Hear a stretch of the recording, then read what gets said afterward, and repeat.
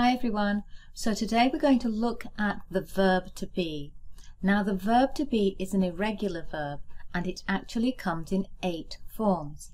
Now the forms it comes in are am, is, are, were, was, been, to be and being. Now these change depending on whether we're looking at the past, the present or the future tense. Now the verb to be has two functions. It functions as a main verb, but it also functions as an auxiliary verb or a helper verb. So what I'm going to do is I'm going to explain all of these different things in the video, but because that would be too long, I'm actually going to have to split this into two parts. So the first part in this video, I'm going to look at the present tense and all the different variations that you get. And in this video, if you wait till the end, I will also go through the abbreviations that are mainly used when we use the verb to be.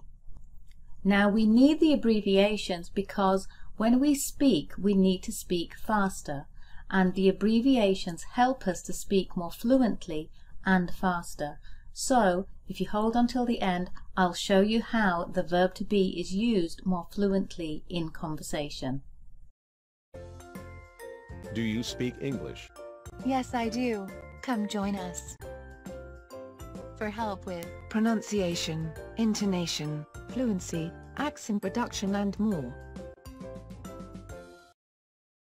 EasyNativeEnglish.com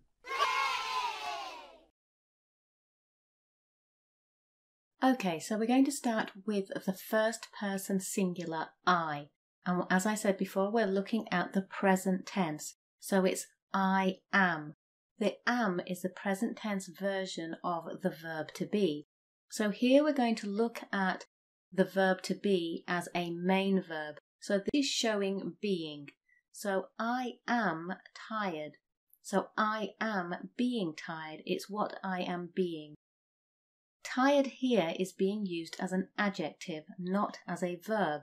So it is used to describe how I am feeling. So I am tired.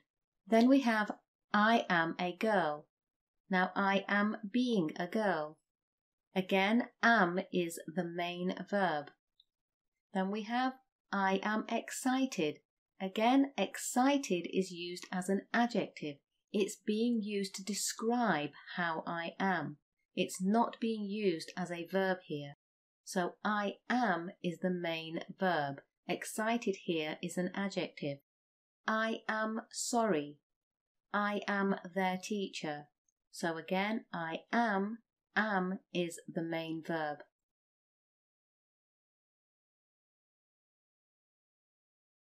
Okay, now let's have a look at the first person singular I in present tense, but this time the am is going to be used as an auxiliary or helper verb. So it's going to be used with another main verb. So we have, I am looking for my pen. Looking is the main verb and am is the helper verb. I am going shopping. I am carrying the baby. I am coming to work. I am helping my friend.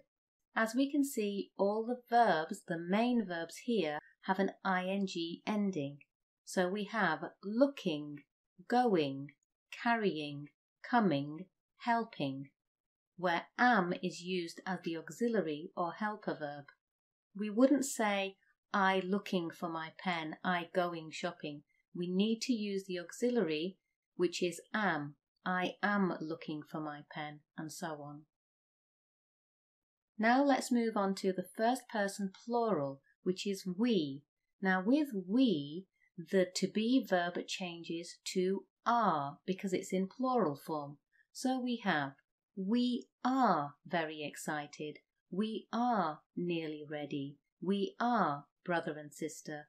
We are his parents. So again, we have are, the to be form of the present tense plural, being used as the main verb, showing being.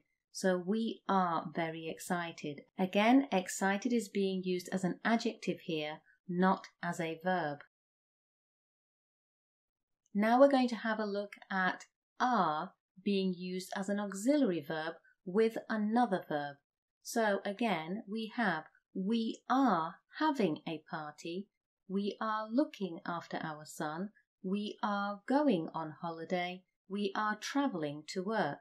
So we have having, looking, going, and travelling. Again, all with ing endings with the helper verb are. So now we're going to look at the second person you. This is both the plural and the singular. So we have you are their cousin.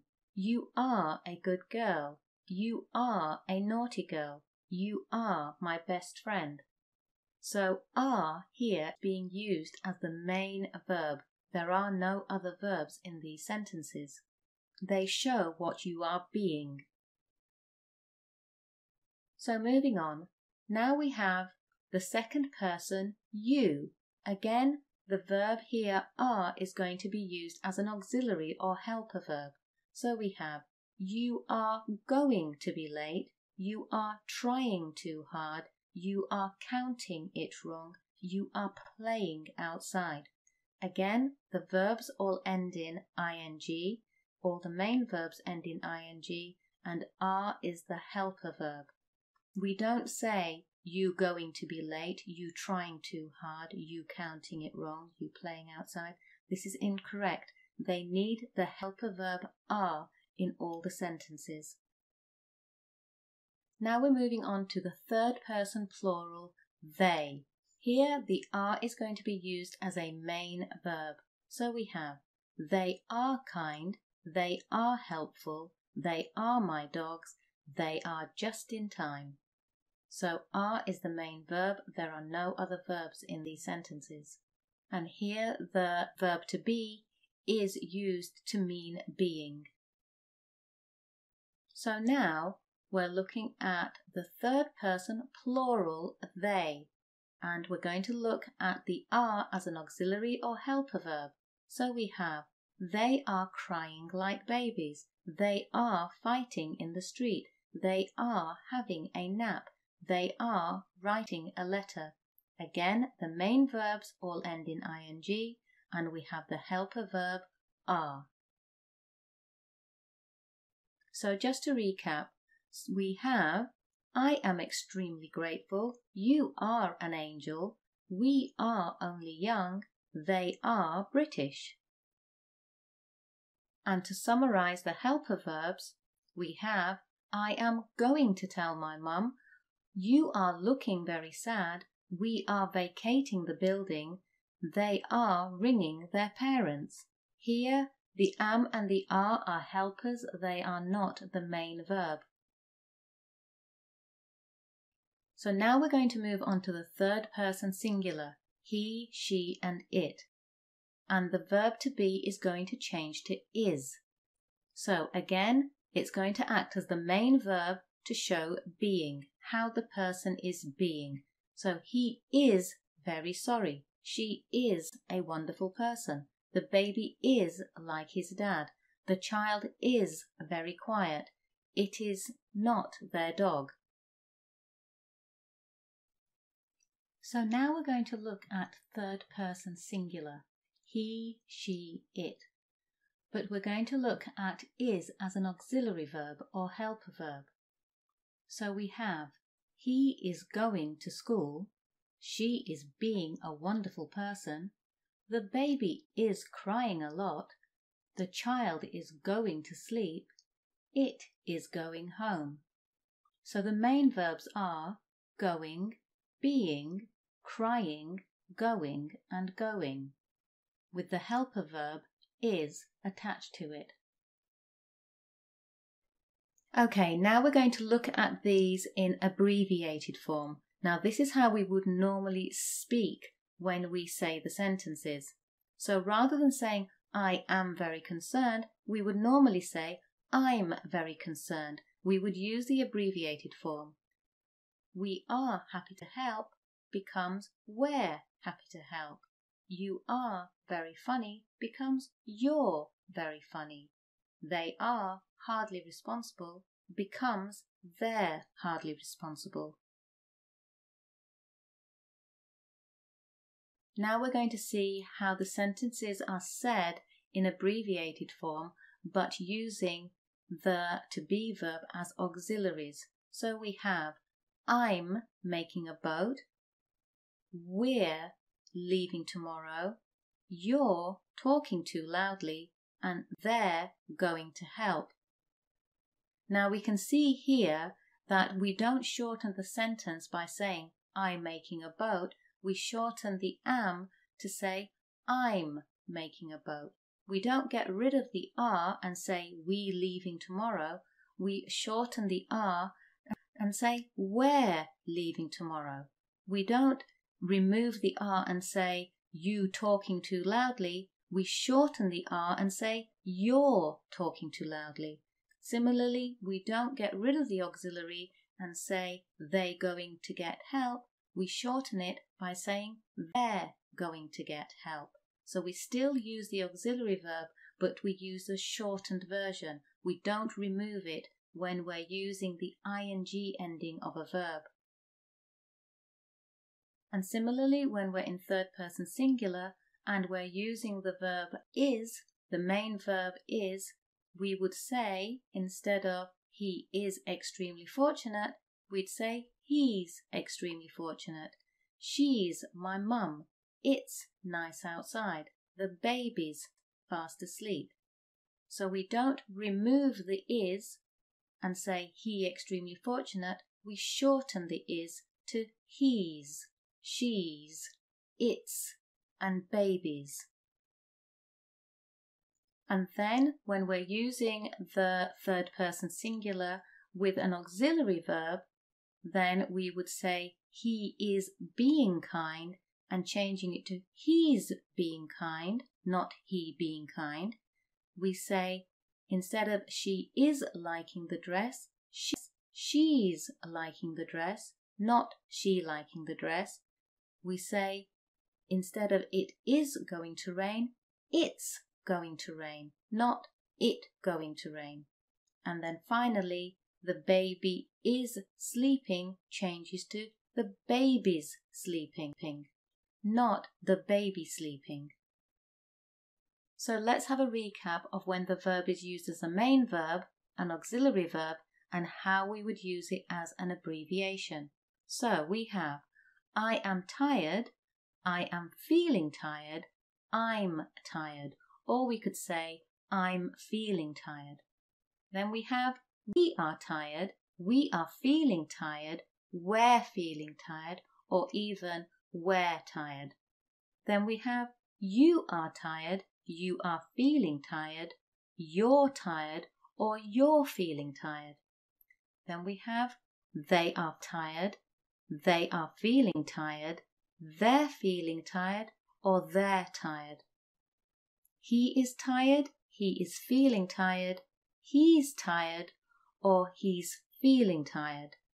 She is tired, she is feeling tired, she's feeling tired, or she's tired. It is tired, it is feeling tired, it's tired, it's feeling tired. And then finally, the family is tired, the family is feeling tired, the family's feeling tired, the family's tired. Okay, we're going to finish off by looking at the verb to be in the being form. Now, this is the verb to be as a main verb, but because it has an ing ending, it will need an auxiliary.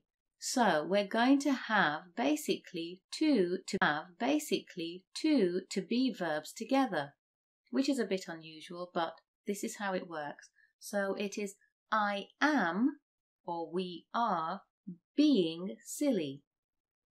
So I'm where being silly, or you are being helpful, being helpful. They are being nice, or they're being nice. He, she is being kind, or he's, she's being kind. It is being sensible or it's being sensible. So as you can see, when the verb form with an ing ending, you need to have an auxiliary with it. So let's just recap the being version. We have I am being good, not I being good, and I'm being good. We have we are being silly, not we being silly, or we're being silly. Then we have you are being noisy, not you being noisy, and we have the abbreviated version of you're being noisy. Then we have they are being naughty, not they being naughty, and they're being naughty. Then we have he is being odd, not he being odd, and he's being odd. Then we have she is being considerate, not she being considerate, and then we have she's being considerate. And we have it is being strange, not it being strange, and then we have it's being strange. And also the family is being very kind, not the family being very kind. And then the abbreviated version is the families being very kind. So we need an auxiliary when the to be verb has an ing ending as well, just like all the other verbs that have an ing ending. I hope you find that useful and you enjoyed the abbreviated forms and you can use them now more easily in your conversations and you understand why we can't drop auxiliary verbs when we're speaking. I hope to see you in the next video. Bye! If this video helped you, then please give it a thumbs up and subscribe to our YouTube channel. Also tell us in the comments section below if there are any other videos you'd like us to make. Thanks!